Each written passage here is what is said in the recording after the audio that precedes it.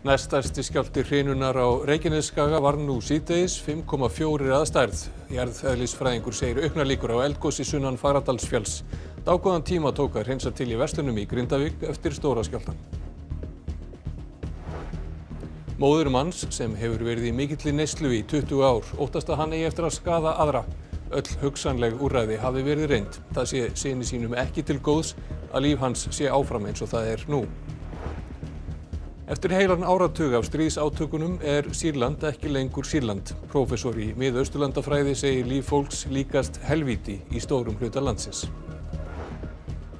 Læknir segir þurfa hugrekki og stórt hjarta til að gefa kynfrumur en tugir barnlausra para og einstaklinga býða eftir að þykja egg og sæði. Byðlistar hafa lengst mikið undanfarið ár. Fjöldi fólks laði leið sína að búrkvalshrægi í morgun þrátt fyrir að laurugluborði hefði verið strengtur fyrir framaða. Hætta er á að hrægið springi og því getur stafað hætta af því.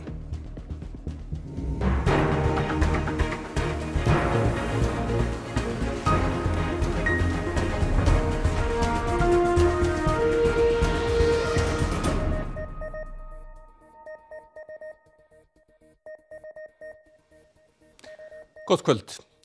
Öflugur jarðskjálfti, 5,4 að stærð var þegar klukkan var 16 mínútur genginni þrjú í dag. Þetta er næstæsti skjálftin í hrinunni sem hóst 24. februar með skjálta sem aldist 5,7. Skjálftin í dag varðum 2,5 km frá dalnum Náttaga, suður af Fagradalsfjalli og voru upptök hans undir Suðustrandavegi. Hann fannst vel víða um land í öllum sveitarfélögum Reykjaneskaganum höfuborgarsvæðinu og í Árnæsíslu. Hann fannst vel í Borgarfyrði, í Búðardal, á Kamstanga og á Söðarkróki. Á Suðurlandi fannst hann í Vestmannegjum, Viki Mýrdal og á Kirkjubæðarklustri. Kristín Jónsdóttir, hópstjóri Náttúruvár hjá Veðurstofi Íslands, velkomin. Hvað getur þú sagt okkur um skjáltan í dag? Já, þetta var uh, snarpur skjálti sem að uh, mældist hann í dag og, og finnst við það. Uh, þetta er þessi skjálta sem er að verða hérna vestan við Fardalsfjall er í rauninni aflegging af uh, þessum umbrótum sem eiga sér stað við kvikugangin og við hefum verið að kalla þetta gikkskjálta og þetta er, já, þetta hérna, mjög óhefilegt að staðan skulle vera þessi. En, en þess að í rauninni að kvik, kvikugangurinn, hann, hann er á íta á, á stórt svæði. Og það verður, verða spennubreitingar og, og sagt, við þessa þrýstingsaukningu í kvikuganginum að þá verða jarðskjáltar á stóru svæði í kring. Mm, en hefur orðið einhver góðsóru eða mæliðið hann? Nei, við hefum ekki mælt það ennþá en við getum sagt að í rauninni, við sjáum þá út frá GPS-mælingunum okkar og í rauninni þýða þessi jarðskjáltar það að það er greinilegt að þrýstingur er að byggjast upp í kvikuganginum og meðan þetta er svona þá eru talsverður líkur á því að það verði elgóðsana. Mm, en það er náttúrulega ekkert hægt að segja um til um það hvenar það verður, hvaða tímarama við erum að tala um? Nei. Eh, hvernig metur þau samt framhaldið?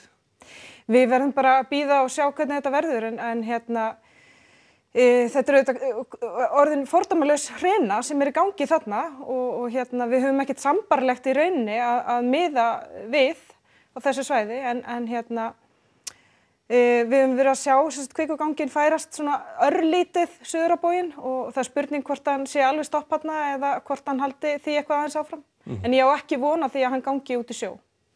Takk fyrir þetta Kristín GPS-gögn sína að kvikusöfnun undir náttaga suður að Faradalsfjalli hafi haldist stöðug síðan fyrir helgi. Þetta er á sama stað og skjáltavirknin hefur verið hvað mest. Gjósi í náttaga gæti hraun flætt yfir suðustrandaveg. Nú er þetta nokkuð minn á samstað. Þetta er allavega ekki að færast hann ef við sjáum það, hann uh, einur ráði. Uh, nei, en þetta var einmitt, byrjaði þarna við keili og, og ferðaðist svo til suðvestus og, verist vera að stoppa þarna í bili. Og það er svona með að þegar við erum að sjá starri skjálta þarna á suður endanum þá kannski er einhver fyrirstaða sem stoppar til að halda áfram til suðus en við höfum eftir að sjá, sjá hvað verður. Benedikt segir að fyrirstaðan geti til dæmis verið mismunandi lega á sprungum í járskorpunni. Þetta er ekkert að fara lengra í byli en, en það er náttúrulega þýr ekki að geta ekki gert það en það er svona, ó, við teljum það ólíklegri möguleika.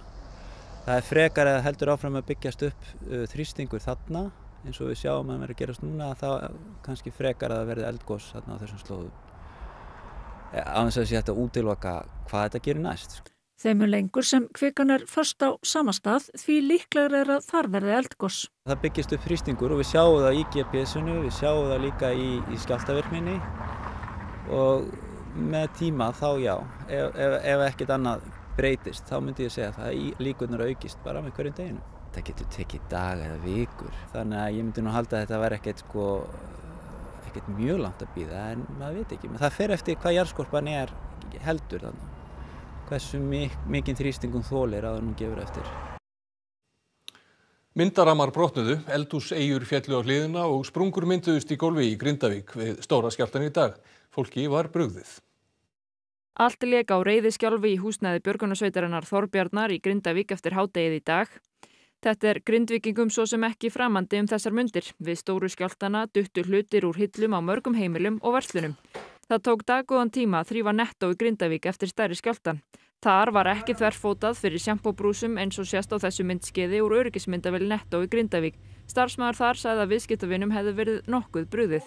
Þetta var reyndar raunin víða, til dæmis í Livíu í Grindavík. Þetta var um daginn líka svona mikið. Þetta reyndar aðeins meira. Þannig ég átti eiginlega vona á þessu.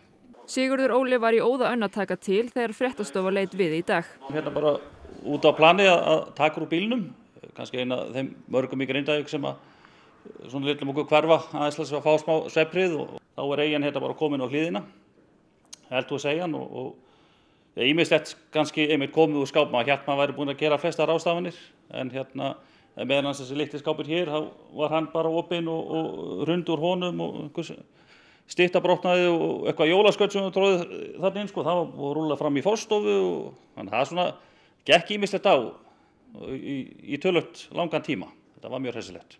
Sigurður býst ekki við að setja dósamat eða þunga hluti í eldúsegina fyrir en þessi hrína er af staðin. Hann segir að stóru skjáltarnir venjist seint. Og þetta er langmesta höggi sko, þó að sko, upptökin eru komin svona nálagt Grindavík. Upptök stærri skjáltans í dag eru undir suðurstandaveginum, hérna á þessum slóðum sem eru auðvitað mjög nálagt Grindavík og þess vegna fannst þessi skjálti svona rosalega vel í Grindavík. Og sjónarvottar sem voru hér þegar skjáltin reyði yfir segja að það hafi talsvert mikið fallið í sjófram við stóru skjáltan. Það sést vel á þessum myndum sem Guðmundur Bergqvist kvikmyndatökumadur Rúf tókum fimmleitið í dag. Þremum tímum eftir skjáltan er enn brún slíkja í sjónum við ströndina. Fjölmargir eftirskjáltar hafa fundist í dag í Grindavík. Dæmi eru um sprungur í veggjum og gólfi eftir stóru skjáltana í dag. Það var hérna eftir skjáltana síðasta vetur, það var svona pínu lína, en svo núna þá gliðina hún alveg sakala. Þetta er tölver skemmt. Snædís og fjölskylda hennar voru heima þegar stóru skjáltin reyði yfir upp úr klukkan 2 í dag. Það voru bara allir skelving og losnir. Það hristist allt og það var svo ægilega læti því að það var allstaðar að hrinni eitthvað niður strákurum minn, hann var nú bara brókinni hann dreif sér í fött og setti fött í bakpoka og bara ég vil fara núna bara. þannig ég er búin að vera að róa hann niður að, við getum verið heima en svo erum við líka alltaf að pæli í því nú er alltaf verið að segja við okkur að húsin þóli þetta mikla skjálta þú veist upp á 6,5 en hvað þólaðu þetta lengi, hvað marga daga að vera frá fjóra og fimm okkar með eins að degi í þetta langa tíma. Og þá að öðru. Fjölskylda manns sem hefur verið í mikillir neyslu í tvo áratvíu óttast að hann er eftir að skada aðra. Hann sé haldinn ofsóknaræði og gangi um með hníf. Móður hans kallar á hjálp og vonar að einhver geti bent á úrræði sem ekki hafi verið reynd áður. Kristín Helgadóttir byrti á miðvíkudaginn færslu á Facebook sem óhættir að segja hafi ekki mikla aðegli. Þar lýsir hún þrautagöngu fjölskyldu sinnar vegna 37 ára gammal sonar hennar sem hefur barist í fíknefnadjöfulinn í 20 ár. Svo langvarandi neysla hefur leitt til ítrekkaðra geðrófa, ofsoknar æðis og ránkugmynda. Maðurinn hefur lengi verið heimilislaus og fær ekki lengur inn í gistiskílinu sögum ástand síns. Fjölskyldan hefur aldrei talað um málið ofinberlega en ákvað nú að kalla á hjálp. Hann er orðin þannig að hann er ekki raunveruleika tengtur. Hann er það eru bara rattir sem eru þarna, það eru fleiri með honum í lið eins og ég segi stundum og staðan er bara mjög alvarleg. Við hefum fundið ár frá ári að hægt og bítandi það hrakar honum meira og meira, það missir tenginguna. Foreldrar mannsins búa á Norðurlandi en hans sjálfur í Reykjavík. Kristín segir að fíknefna neyslan sé fyrir löngu farun úr böndunum og sonur hennar sé gríðarlega illa á sig kominn, bæði líkamlega og andlega. Hann er amfetamíninu, hann er í morfininu, Hann hefur verið að kaupa sér efni þar sem hann hefur orðið mjög veikur, verið komið með enkenni nýrnabilunar en, en staðast er þannig að honum helst hvorki og síma nýja öðru og hann þarf, eina sem hann hugsaður um er eiga fyrir skamt í morgudagsins. Svonur Kristínar er að hennar sögn haldin ofsóknar brjálaði á háu stíi. Hann gangi oft um með hníf og sé því raun hættulegur. Hann er í mikil hættu. Hann er orðið mjög veikur þó við hefum margt séð á þessum 20 árum og við eiginlega oftast mest að hann valdi öðrum skafa. Og það er bara strikið sem að við dröfu línuna. Að ég get ekki sviftan sjálfræði og komið honum í skjól af því að hann vil sjálfur ekkert. Hvað með fólkið úti? Það er þetta sem að setur bara línunni hjá okkur er hægt að bjarga honum og öðrum í leðinni frá því að það verði bara skelvileg skafur. Kristín segir að fjölskyldan sé orðin ráðalaus þau hafi reynd allt. Er einhvern þarna sem við vitum ekki um, sem við hefum ekki leitað til sem getur bent okkur á hvernig hjálpum við þeim sem vill ekki hjálpina en vill samt lifa. Eina lausnin sé einhvers konar langtíma úrræði og best ef hægt væri að sviftan sjálfræði. Þarf eitthvað meira vittnana við? Þurfum við að sjá til aðeins lengur? Þurfum við að býða? Eftir hverju ætlum við að býða? Við býðum ekki. Við sjálfum sér höldum bara hópin hérna styrkjum hvert annar og við vonum að það sé eitthvað til staðar þarna út í okkar þó að mörguleiti góða samfélagi sem að geta kiftið þannig að hann eigi hugsanlega möguleika á lengra lífi og betra lífi. Við þurfum ekki að lengja það eins og það er núna. Nei, það er ekki tóndi góðs. Og lengri útgáfu af þessu viðtali við Kristínu Helgadóttur má sjá á rúf.is. En heill áratugur er nú liðin frá því að sírlendingar þustu út á götur og kröfðust breytinga. Upphafið má reykja til þess að nokkrir táningstrákar krotuðu slagur arabíska vorsins á lauruglustöð í bænum Dera snemma árs 2011 og voru fyrir það handteknir, fangilsaður og pintaðir. Almenningur reytist, mótmæli urðu sífælt útbreytari og stjórnvöld mættu þeim af hörku. Úrvarð skjálfileg borgarastyrjöld sem nú, tíu árum síðar, er enn ekki lokið. Óluf Ragnarsdóttir, er eh, hægt að ná utanum afleðingar þessa stríðs? Það er allavega alveg lífsins ómögulegt að útlista þær svona í einni frétt og þess vegna ætlum við næstu daga að beina kastljósinu svolítið að Sýrlandi og þá kannski helst því hvaða áhrif þetta hefur haft á almenning. Til dæmis bara sem, eh, bara sem dæmi þá veit engin í raun hversu margir hafa fallið í þessu stríði, skipta hundru um þúsunda og svo er halv þjóðin og flóta heilu borginnar í rúst og svo lengi mætti telja. Mm. Áhrifin eru lang, langmest á, á fólkið í landinu en þau finnast víðar.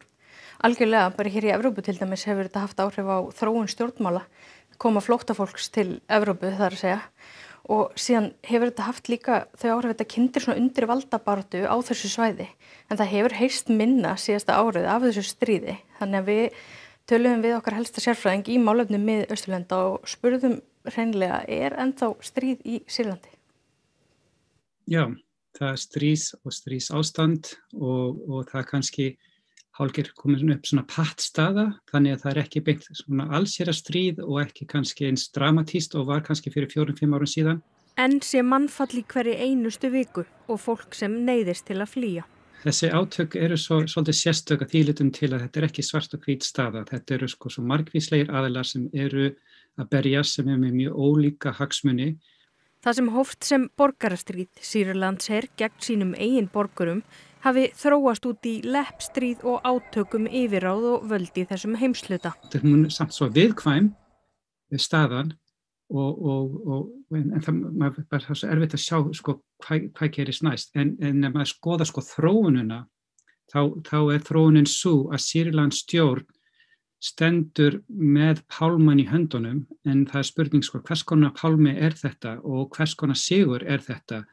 Sýrland er ekki lengur sama land. Áratugur af hörmungum hafi mikil og djúbstæð áhrif. Og sérstaklega hörmungar sko strís 21. aldar, það sem er að ræða eiturrefni og það sem, það sem sílenski herin og bandamenn þeirra hafa sko virt að vekti í algjörlega helstu hugmyndir okkur um hvernig á að heia stríð, uh, í löglegt stríð. Mannsfallið er, er því líkt, sko hvern, hvernig sem að mæla það, hvort um sé að ræða bara í mannsfjölda beint eða í svangant höfðatölu, að, að, að þetta er sko hörmungasaga sem, sem við er, erum að upplefa og bara sem sýnir enn og ný hvað, hvað þeir sem hafa völdin og hafa þess að hafa algjört vald, hvað þeir eru tilbúin að fara langt Daglegt líf í Sýrlandi er ekkert í líkingu við það sem það var áður. Hálf þjóðin hefur þurft að flýja heimili sín. Efnahagurinn er í rúst og gjaldmiðlinn í frjálsu falli.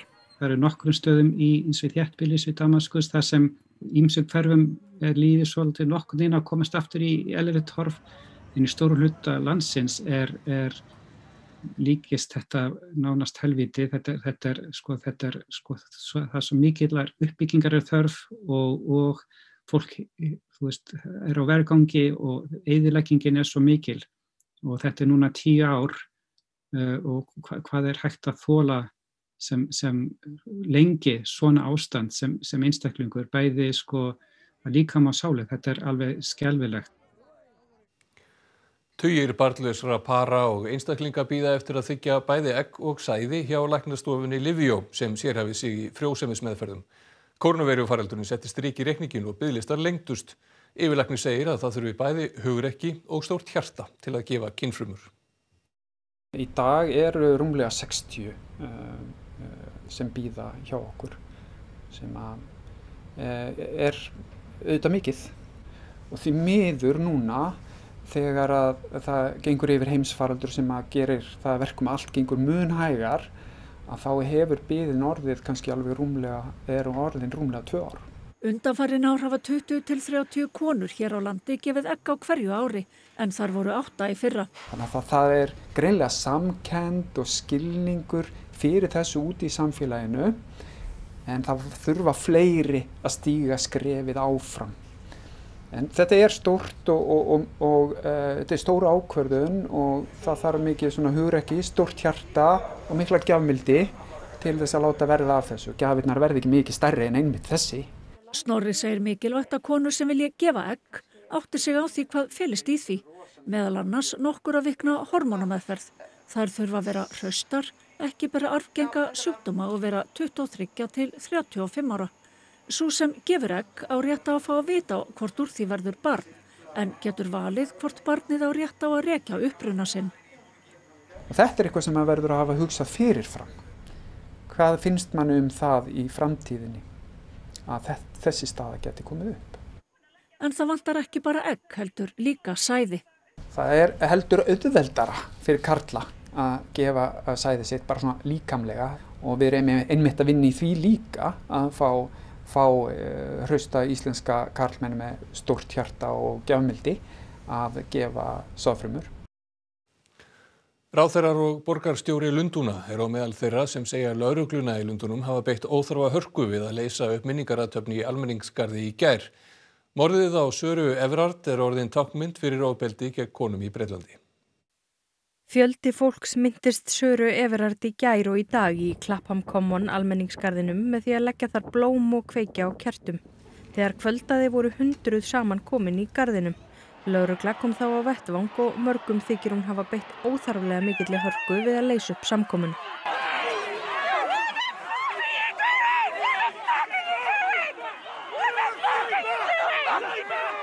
Innanríkisráðherra Bretlands og borgarstjóri Lundúna er á meðal þeirra sem fara hörðum orðum um framgang lauruglu. Bæði krefjast þau skýringa frá lauruglu yfirvöldum. Stjórnar andstæðan í Bretlandi vil ganga lengra. We don't need to just be angry, we need action and the minister should be able to lay out to us exactly what they're going to do. Laurugla segir hafa verið skildu sína að bregðast við. Officers on the ground were faced with a very difficult decision. Hundreds of people were tightly packed together, putting a, posing a very real risk of easily transmitting COVID-19. When they left, it became what it should have been all along. There was just such a lot of sadness and a desire to be here together. Breskur lauruglumæður er í haldi sagaður um morðið á Söru Everard sem hvarf eftir heimsóng til vinafólks og fannst látin viku síðar. Morðið á Everard hefur vakið reyði og óhug á Breitlandi og víðar. Það hefur orðið táknmynd fyrir ofbeldi gegn konum og eru stjórnvöld krafinum aðgerðir. Engin vetrarþjónusta er á veginum á Rauðasand þrátt fyrir að þangað sé sótt mjólk tvisvar í viku. Ferðir mjólkur, mjólkurbílsins á kúabúiðar eru því ekki tryggðar. Það væri skref ef óvissunni væri eitt, segir kúabúndi. Nú erum við að fara á Rauðasand, náðum mjólk þar, svo tökum við bæina hérna á ströndinu. Gísli sækir mjólk tvisvar í viku á fjóra bæja á Barðarströnd. Sá 50 er á Rauðasandi handan tvekja fjallvega, kleifa heiðar og skersfjalls. Hvað veistu um ferðina í dag?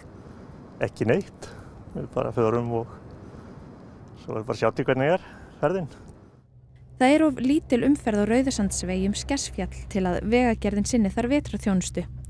Það er því oft ekki fyrir mjölkurbílinn mætir á vetrar morgnum sem það er ljóst hvert það þarf að riðja veginn. Þá þarf að óska sérstaklega eftir mokstri hjá sveitafélaginu sem greiðir hann til móts við vegagerðina. En það getur tekið tíma og það kemur fyrir að mjölkurbílinn kemst ekki að sækja mjölkina og þegar mjölkin er orðin ofgömul er henni held.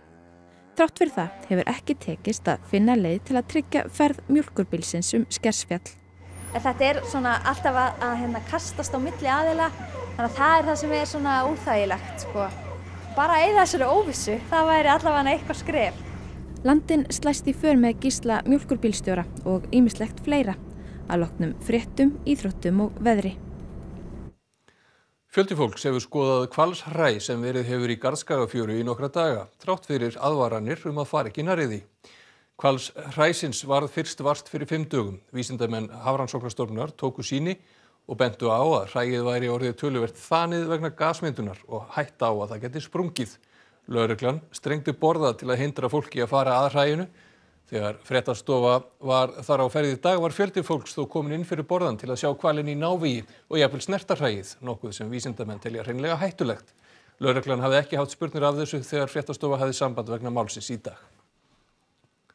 Og þá að veri. Veður var gott til útivistar um mestarland í dag og var sólríkt á vestanverðurlandinu.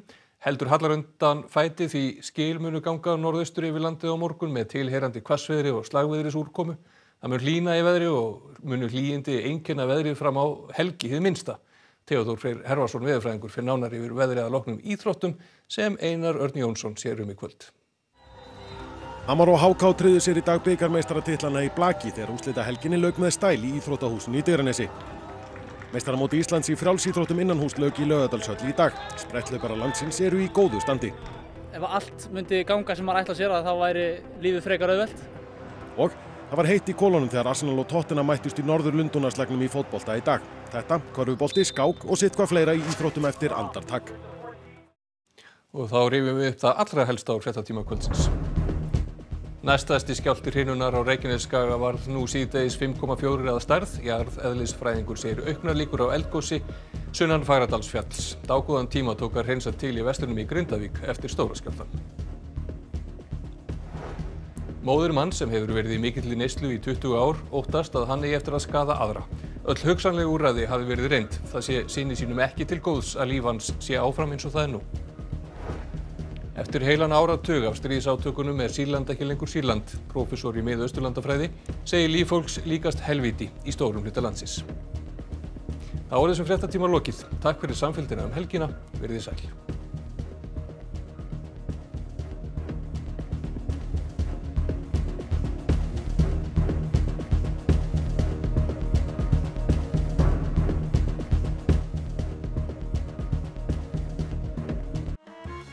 Á RÚF í kvöld. Landinn er þáttur um lífið í landinu. Landinn fer víða og hittir fólk sem fæst við margt áhugavert og skemmtilegt.